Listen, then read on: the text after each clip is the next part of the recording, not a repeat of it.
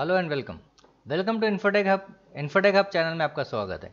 आज हम सीखेंगे आई एम पी एस यानी instant fund transfer I M T S यानी हमें इंस्टेंट फंड ट्रांसफ़र किस तरीके से करना है एम पी एस किस तरीके से करना है फंड ट्रांसफ़र जो है वो इंस्टेंटली किसी को करना है तो वो कैसे करना है, ये चीज़ें हम सीखेंगे इन्फोटेक हब चैनल पर जो आप अपने नेट बैंकिंग के थ्रू किसी को पैसा अगर ट्रांसफ़र करना चाहते हैं, एक दिन में, एक वक्त में इंस्टेंटली तो उसके लिए क्या करना है? तो सबसे पहले आपको करना ये है कि आपका जो गूगल क्रोम है, उसके अंदर में हमें जो है राइट क्लिक करके इनकॉग्निटो मोड स्टार्ट करना है। यानी इनकॉग्निटो मोड पे इस तरीके से आइकॉन आपको दिखाई देगा। इस आइकॉन पे हमें जाकर अपने जो बैंक है, उसका नाम डालेंगे। यानी उसका नेट बैंकिंग के लिंक हम वहाँ पे ऐड करेंगे। ऐड करने के बाद हमें करना ये है कि लॉगिन जिस तरीके से हम जनरली लॉगिन करते हैं। लॉगिन ऑप्शन पे क्लिक करेंगे। क्लिक करने के बाद आपका जो यूज़र आईडी पासवर्ड है, वो डालना है आपको।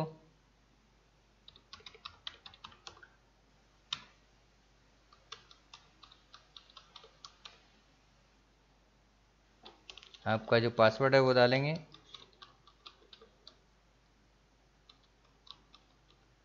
और लॉगिन कर देंगे। जब हमने लॉगिन किया तो हमें जाना है ट्रांसफ़र पे। जब हम ट्रांसफ़र पे जाएँगे तो यहाँ पे बहुत सारे ऑप्शन है। सेल्फ अकाउंट है उसके बाद में नेक्स्ट है थर्ड पार्टी ट्रांसफ़र अगर हमको सेम टू सेम बैंक में पैसा ट्रांसफ़र करना है तो थर्ड पार्टी ट्रांसफ़र उसके बाद में सेकंड थर्ड ऑप्शन है आपका instant fund transfer I M P S instant money transfer I M P S जो है, इस तरीके से हम फ़ंड ट्रांसफ़र कर सकते हैं। एंड लास्ट है नेशनल इलेक्ट्रॉनिक फ़ंड ट्रांसफ़र जिसको हम एन e बोलते हैं। N national national electronic fund transfer लेकिन हमें जो सीखना है वो है instant fund transfer instant fund transfer पे हमने क्लिक करना है। क्लिक करने के बाद में हमें बेनिफिशरी ऐड करना है। Add I M P S beneficiary पे क्लिक करेंगे। जब हमने ऐड बेनिफिशरी ऐड किया, यहाँ पे आपको दो ऑप्शन आ गए I F S C code और मोबाइल यानी कि आपको मोबाइल टू मोबाइल करना है या फिर सिर्फ़ आपको आपके पीसी से अकाउंट में ट्रांसफ़र करना है। यानी पी सी टू ए लिखा है ना? यानी पी सी टू अकाउंट। और ये है मोबाइल टू मोबाइल, यानी मोबाइल से मोबाइल ट्रांसफ़र करना। तो उसके लिए हम यहाँ से क्लिक करेंगे, लेकिन हमें अभी जो अकाउंट ट्रांसफ़र करना है वो है आपका P C to account. P C to account पे जाने के बाद में हमको वहाँ पे उस बंदे का, जिसको हमें अपना जो है आई करना है, उसका पूरा डिटेल लिखेंगे। सबसे पहले वहाँ पे उसका नाम लिखेंगे, जो भी अकाउंट होल्डर का नाम है।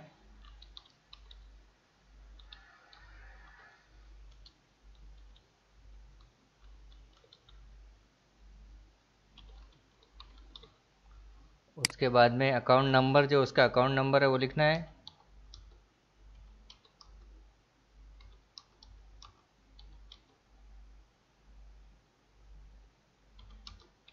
प्रॉपरली फिर से हमें इसको वेरीफाई करना है कि अकाउंट नंबर हमने डाला है तो वो प्रॉपर है या नहीं।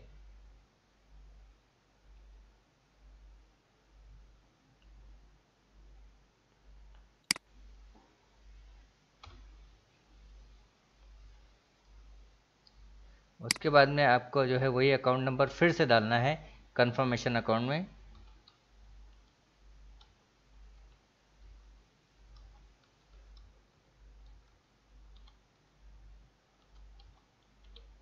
उसके बाद में आपका जो है बैंक का आईएफएससी कोड डालना है। और आई उसके बाद में आईएफएससी कोड जो है आपका, और उसको ऐड कर देना है।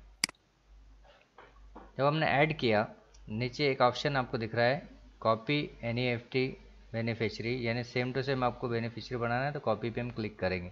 लेकिन यहाँ पे एक ऑप्शन चल रहा है ये, यानी वो एक अकाउंट बना रहा है जो इंस्टेंट फंड ट्रांसफ़र का है।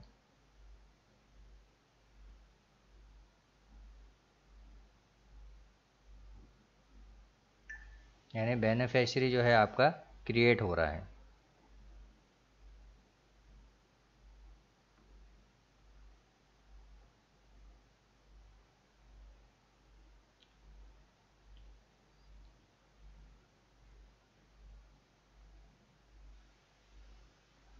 एम जो है वो इमीडिएट पेमेंट सर्विस इसे कहा जाता है।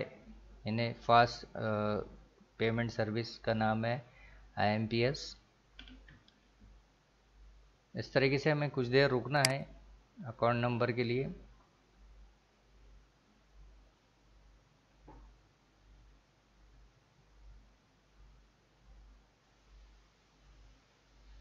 इमीडिएट पेमेंट सर्विसेज़ यहाँ पे जो लिखा हुआ है गवर्नमेंट ऑफ़ इंडिया की एक सिक्योरिटी सर्विस है, जो फंड यानी मनी ट्रांसफ़र के काम में आती है। इसके अंदर में यहाँ पे ऑप्शन दिए हुए as per N P C I circular the maximum amount of the transferred in two lakh per transaction यानी हम जो है, दो लाख रुपए ट्रांजेक्शन कर सकते हैं इंस्टेंट फंड ट्रांसफ़र में।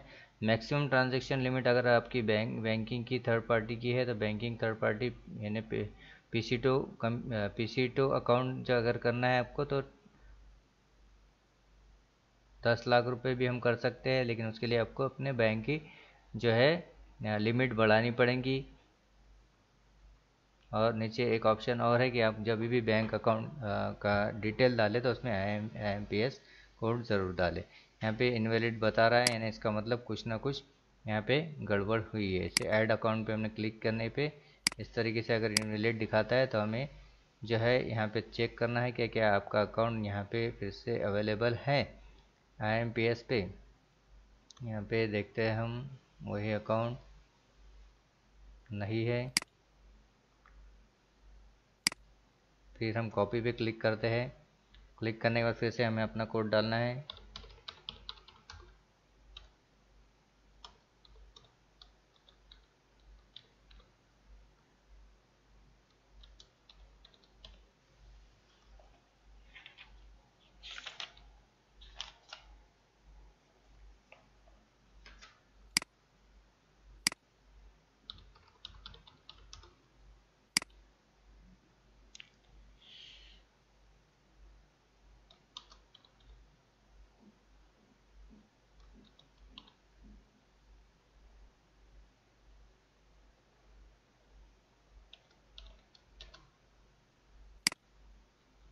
इस तरीके से आपका जो है बेनिफिशियरी ऐड हुआ।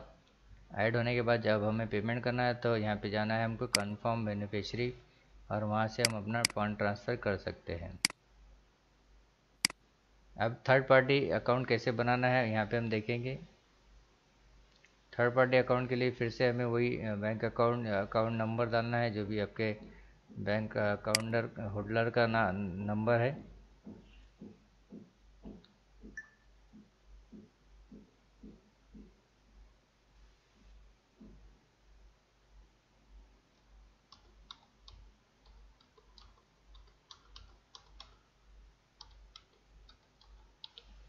फिर आपको जो है उस बेनिफिशरी का जो नाम है वो डालना है।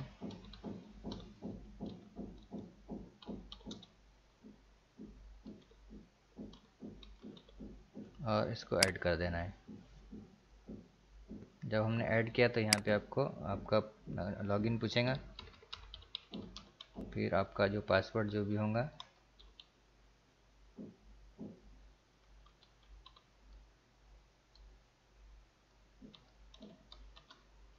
फिर ऐड करना है। जब आपने ऐड किया तो आपको एक कोड आएगा, या फिर आपका डेली का ट्रांजेक्शन है तो कोड नहीं भी आ सकता है।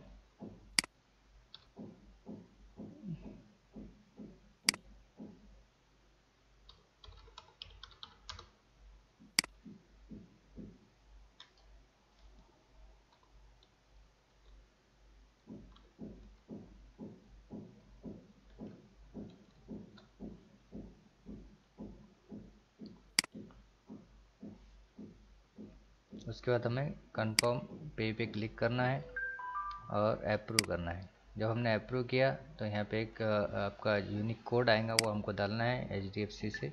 आपका जो अकाउंट है IDBI है तो IDBI से आएगा। वो कोड आपको यहाँ पे डालना है।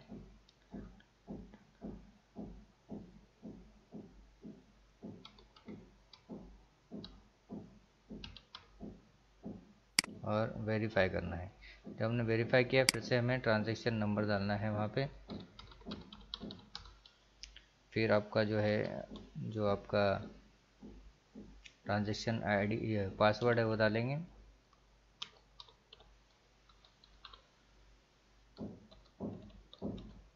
और ओके कर देंगे।